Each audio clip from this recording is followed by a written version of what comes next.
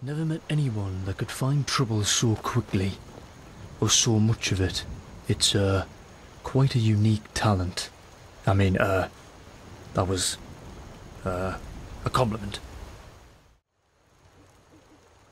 Aye, and sorry I have been. I'm doing all right, I promise you. Aye, guess I owe you that. Right, here it goes.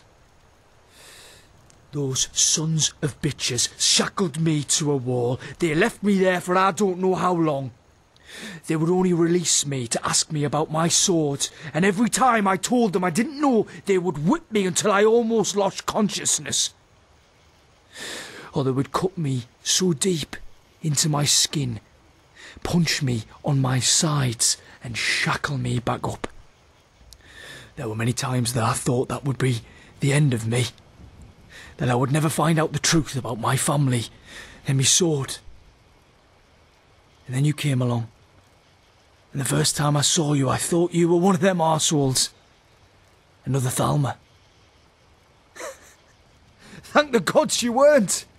You gave me my life back. Thank you. Thank you for saving me.